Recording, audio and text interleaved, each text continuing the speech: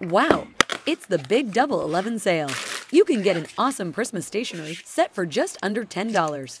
And over 2,000 select stationery items are 50% off. But hurry, there's a limited supply, so you need to act fast and don't miss out.